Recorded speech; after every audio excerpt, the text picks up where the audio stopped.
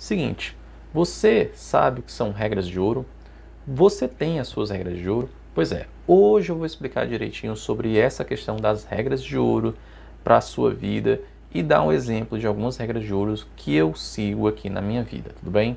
Mas antes, vai curtindo nosso vídeo aí para poder dar uma ajuda no nosso canal e poder esse vídeo chegar ao máximo possível de pessoas e também não se esqueça de ativar a sineta aí do nosso canal para poder receber os alertas de vídeos todos os dias às 7 horas da manhã. Seguinte, regras de ouro são basicamente premissas das quais nós entendemos como os nossos valores. Honestidade, integridade, empatia, bondade são alguns desses exemplos. E aí, para eu poder explicar melhor isso daqui, eu vou mostrar um pouco, pegando aqui a minha câmera, vou mostrar um pouco aqui das minhas premissas, no caso, das minhas regras de ouro. Olha só, eu deixo elas anotadas aqui, ó. Regras de ouro, tudo aqui, tudo. Eu vou falar algumas para vocês para que vocês entendam melhor quais são elas, tudo bem? Olha só. Buscar sempre o meu melhor, refinando as minhas escolhas, e no caso, alimentação, rituais e pessoas. Isso daí eu já tenho mania de fazer já há algum tempo. Por quê? Porque é o seguinte, nos meus perfis pessoais, eu sempre faço isso perto do final do ano e perto da data do meu aniversário que é um limpa nas amizades virtuais e eu classifico em três tipos de pessoas. Aqueles que são, aqueles que são realmente os meus amigos, pessoas que eu confio, pessoas que estão há anos comigo, certo? A segunda categoria, que são pessoas que são conhecidas, mas de alguma maneira geram valor para a minha pessoa.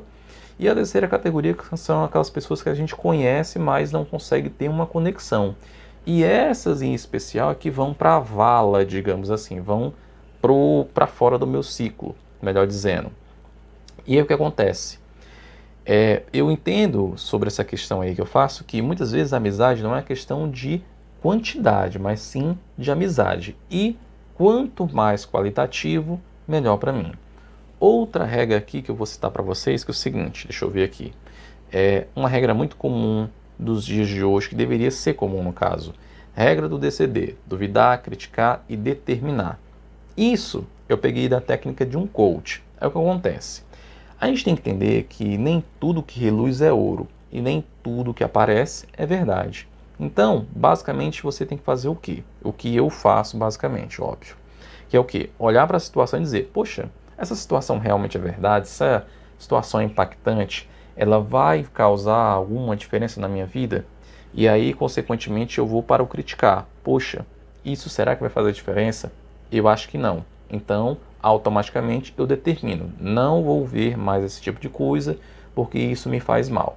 Ponto. Então é dessa maneira basicamente que eu uso o DCD, que é o duvidar, criticar e determinar. Então, deixa eu botar aqui o tripé para poder finalizar o vídeo e é isso. Isso daí só foram alguns exemplos de outras regras de ouro que eu tenho.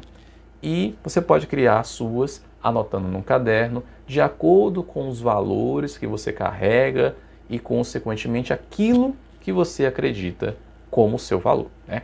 E é isso. Se gostou do vídeo, curte aí, compartilha com o máximo de pessoas possíveis e até o próximo episódio.